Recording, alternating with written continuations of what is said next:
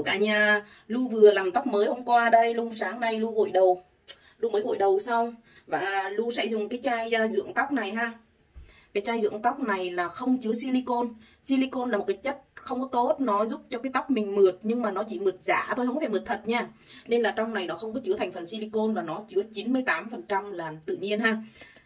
Chiết xuất từ tinh dầu của karité và quả bơ đấy đây là một cái à, thương hiệu à, gạc nie nổi tiếng của Pháp về thành phần thiên nhiên ha. Thì mới gội đầu xong á thì tóc xoăn hay là tóc thẳng gì thì cũng như nhau ha. Mới gội đầu xong mình lau cho nó khô nhẹ như thế này ha. À, chưa có khô hẳn ha nó vẫn còn ướt. Thì mình lấy một một à, một ít vừa đủ ha sau đó mình xoa lên tay như thế này rồi nó trơn lắm mọi người. Thơm dã man nó trơn lắm sau đó mọi người ha sau đó bóp ha. Nếu mà tóc xoăn thì mình bóp từ dưới lên. Nếu mà tóc xoăn thì mình bóp từ dưới lên còn nếu tóc thẳng thì mình cứ vuốt, mình cứ vuốt. Nếu mà tóc thẳng thì mình cứ vuốt như thế này, vuốt như thế này ha. Còn tóc xoăn thì mình phải bóp từ dưới lên như thế này để cho cái giữ cái nếp tóc xoăn của mình ha. Đấy, lúc thấy chưa có đủ lấy thêm một tí.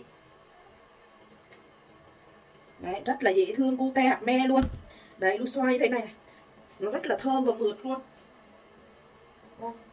Lu chạy bóp dưới lên. Mọi người thấy tóc mới của lu như thế nào? Có hợp không? Có đẹp không? Đây, bóp như thế này nhá. Nếu mà tóc xoăn là cứ bóp vậy cho lu còn tóc thẳng thì mọi người cứ vuốt nha. Thơm lắm luôn. Thơm ơi là thơm. Phải nói là rẻ lắm mọi người. Ngày hôm qua lu đi mua nó sale. Nó sale còn có hai trăm mấy thôi hai trăm chín hay sao á. Lu mua hai chai cất danh. Rồi, như vậy là được rồi. Mình đổ hai lần, mình bóp đều lên tóc như vậy là được rồi. Mình không có đổ nhiều quá nha. Nhiều quá thì cũng không có tốt. Nó bết đó đấy xong rồi đây. Wow. Đây.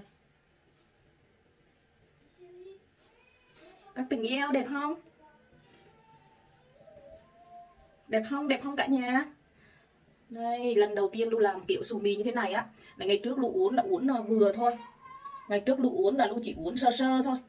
Còn bây giờ là uống quăn thật sự sù mì thật sự luôn.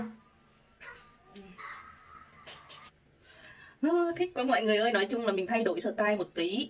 À, chồng lu thì thích uh, vợ tóc thẳng truyền thống Việt Nam. Lu làm thế này ông kêu là con cừu hoài luôn ông bảo như con cừu.